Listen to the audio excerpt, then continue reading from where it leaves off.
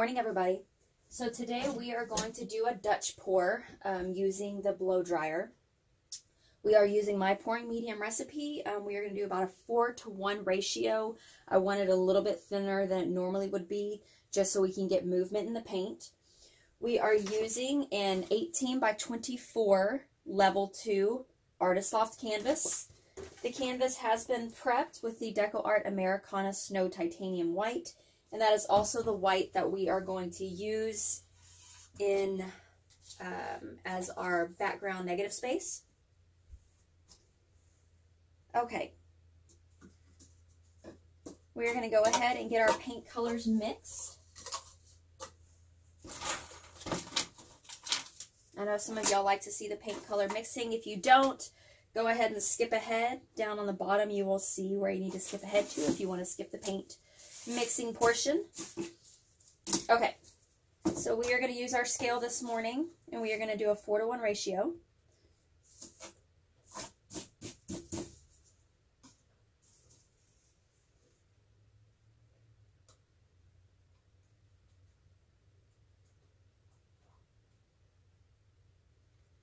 It's actually going to be more paint than we really need. All right, so we've got Deco Arts Dazzling Metallics Ice Blue. It's one of our colors.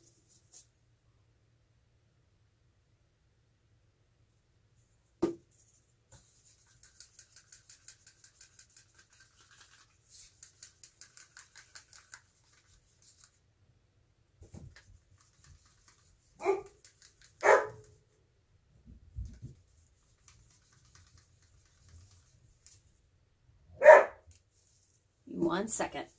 Hun, Sakura. Kiba, leave her alone. Stop. Sakura.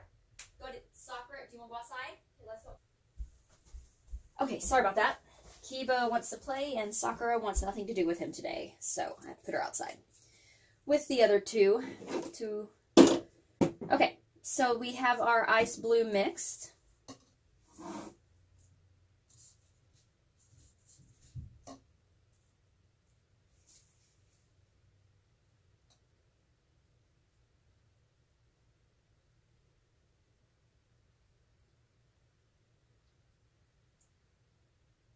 I always use a scale to mix my paints.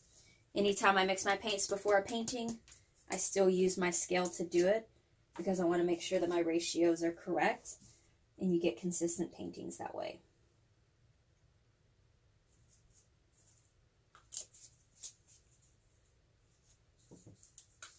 Okay, that one was the Deco Art Americana Dioxine Purple.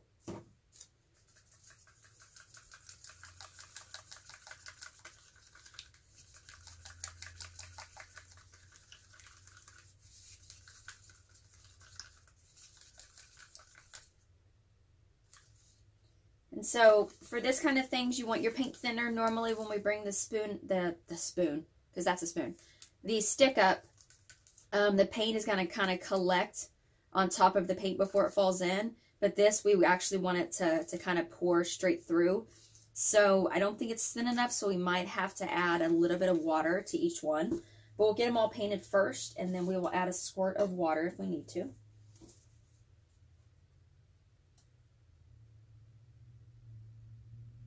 I think this is going to be too much paint, but we'll use the leftover for a, maybe a small flip cup or something like that. Okay, this one is the Deco Art Americana Peacock Teal. Apparently kids are walking to the school bus.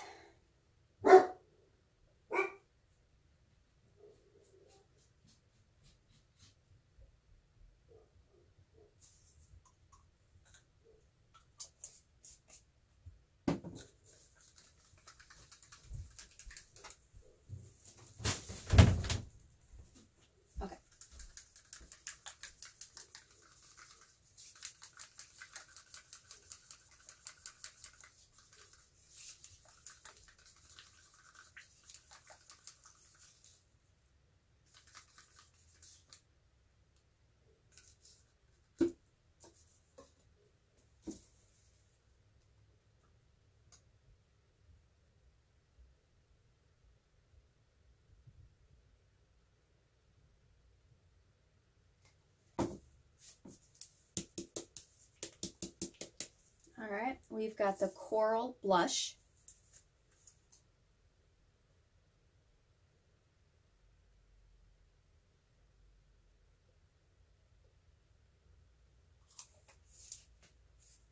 I know my ratios are probably a little off.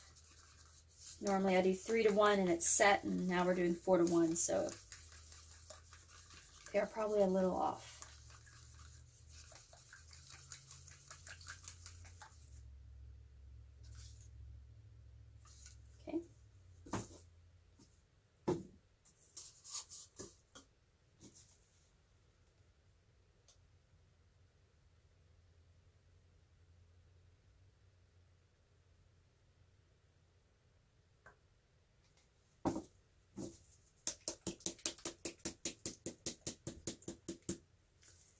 We've got the alizarin crimson.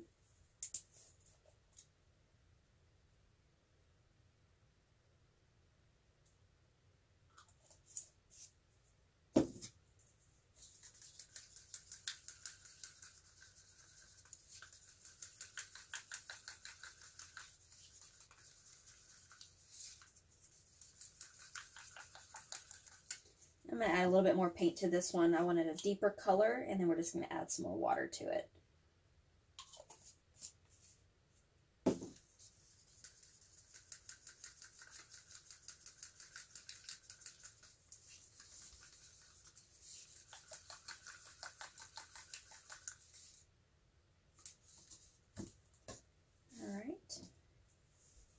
This one we're actually going to put in the white because I want a little bit of glitter in the white this, we are going to use the Metallics Vintage Brass.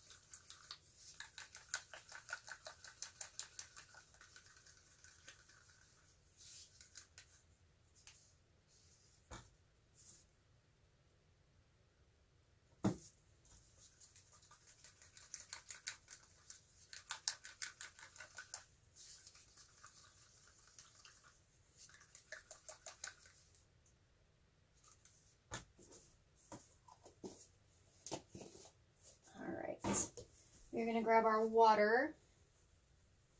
Here it is. We're just going to do a little bit of water, maybe about two ounces to really thin it up. That's better.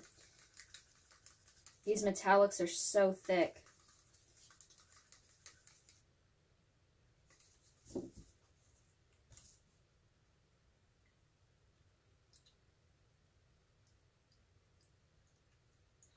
One ounce in that one.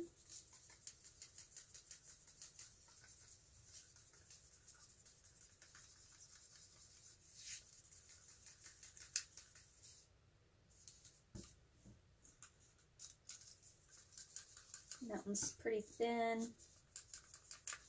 That one needs a little bit of water. You just kind of have to play with it till you get the consistency that you're looking for. Put about an ounce in that one.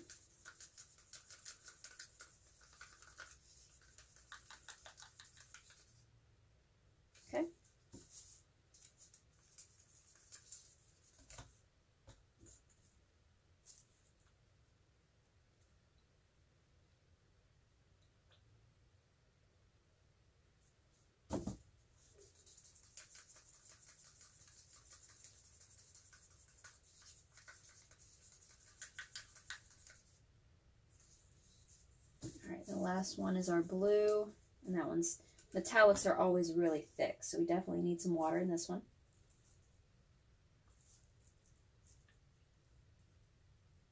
Don't lay your water bottle on the cup, because that's going to throw off your measurements. Okay.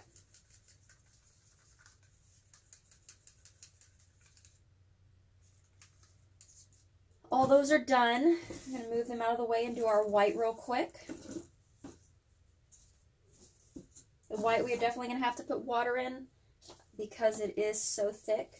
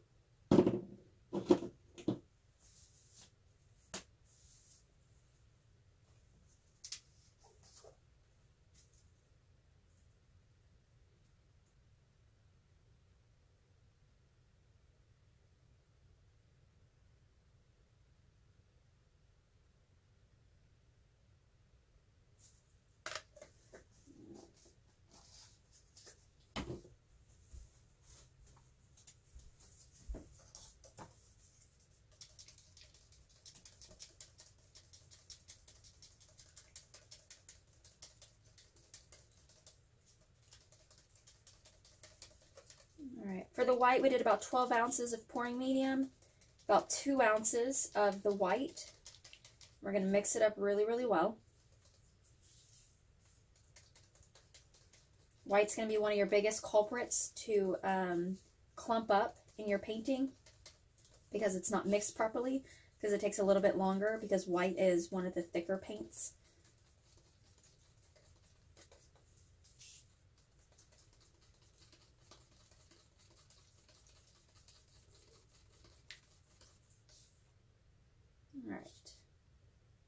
So scrape the bottom of your cup and bring your stick up and kind of look and see if it's all smooth. So it looks like we have a good mix. And we are going to add some water.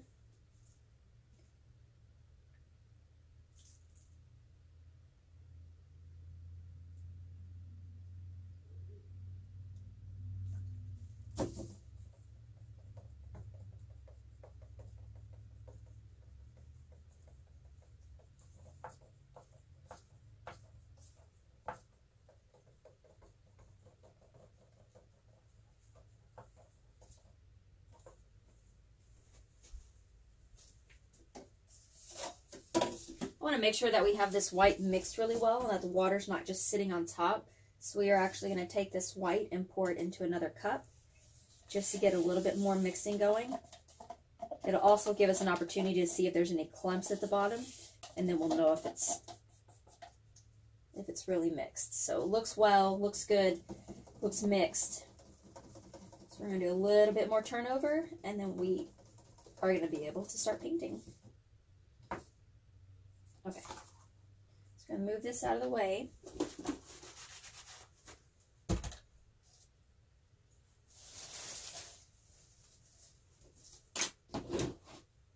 Another thing you can do is if it's colors that you use a whole, whole lot, you can actually use these containers. I just get them at Home Depot and you can actually pre-mix your colors um, to your ratios depending on what type of pour you're going to use it for. But you can pre-mix your paints just make sure before you use them that you stir them up really, really well. Okay.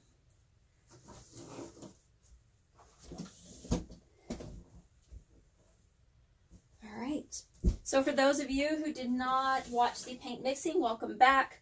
Um, I am going to tell you the colors so you don't, you don't have to reverse and go through all of that to find out the colors. Oh, sorry, I had to drink some coffee. We have the Dazzling Metallics, or Americana Decor Metallics Vintage Brass. Um, Alizarin, Alizarin Crimson. Coral Blush. Peacock Teal. Dioxine Purple. Decor Dazzling Metallics Ice Blue as well as our Snow Titanium White. Then I just realized that we never put our White Pearl Metallics in our white, so we're going to drop a little bit of that in. Because I just want a little bit of metallic glitter with that.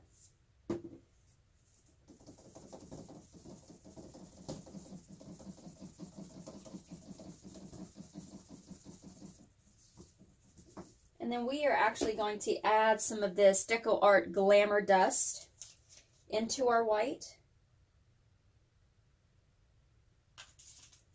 to give us a little bit of a sparkle.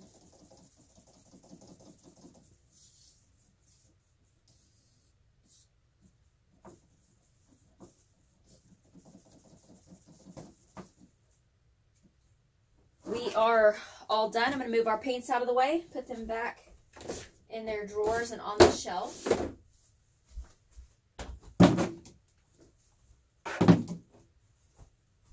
And we are going to go ahead and get started.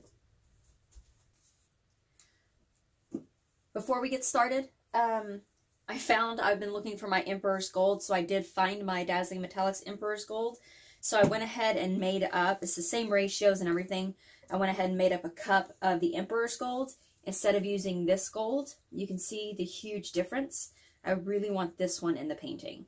So we are going to put this one aside and we will use it for something else, but we are using a different gold and it's the uh, Emperor's Gold by um, DecoArt. Okay, now we can get started.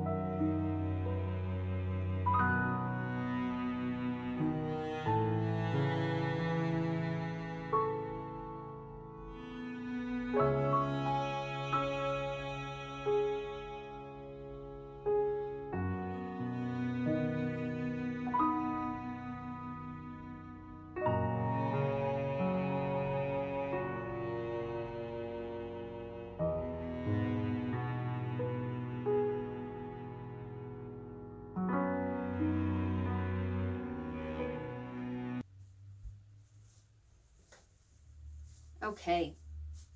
We are done. Um, I did not like the first one that we did, so we're going to call this one a double Dutch pour.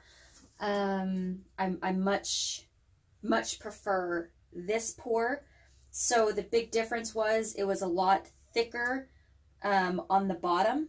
The, the colors were a lot thicker on the bottom, a lot more layers, more paint, and um, less white. So I really like the way this one turned out a lot better. We are going to see how it dries. We do have a lot of, we had a lot of movement and stuff in it, so we will see how it dries. And after all of that, still somehow, we've got some open, open sides. So I'm going to work on making sure that all of the sides are covered. And um, we are going to probably leave this one here. I'm working from home today, so I'll be able to check on it throughout the day and make sure it's drying okay and not shifting. And, um, and then we will be back once it is all dried to put our sealer on it. So I'm going to bring y'all down for a closer look.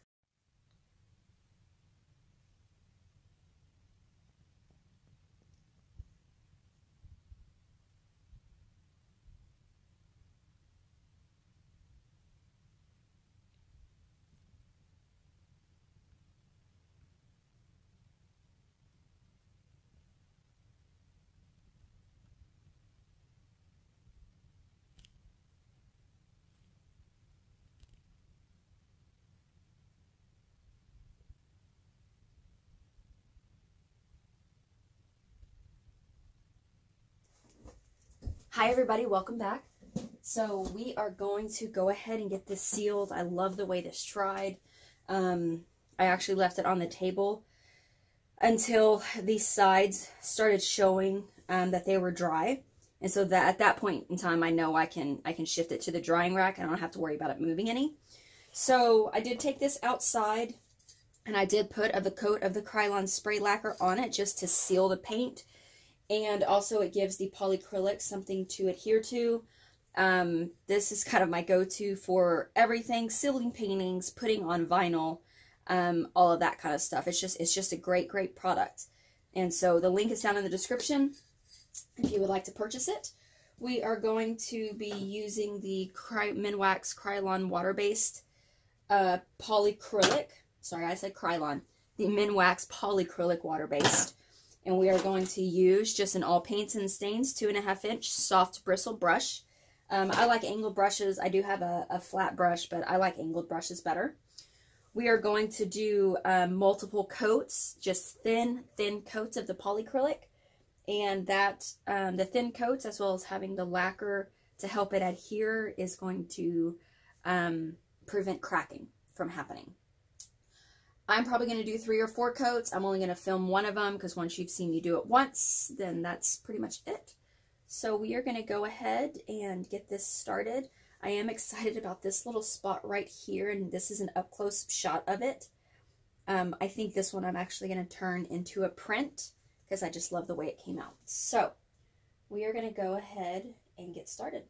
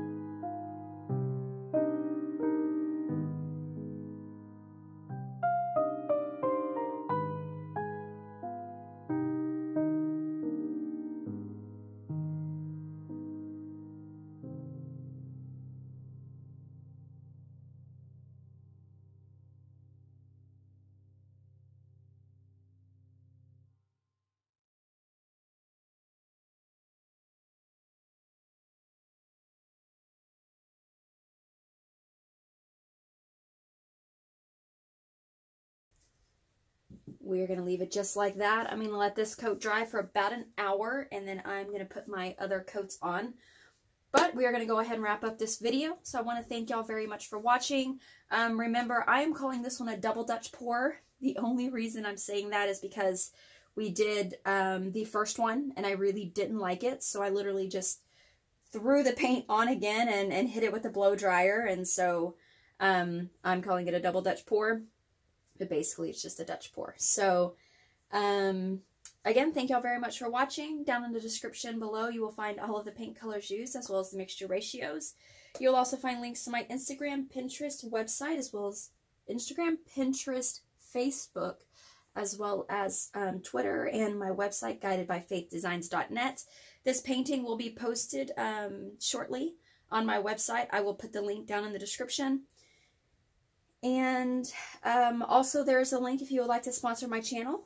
Um, I want to thank everybody again for watching. I hope you enjoyed this. Um, and yeah, so thank you very much. And everybody, God bless.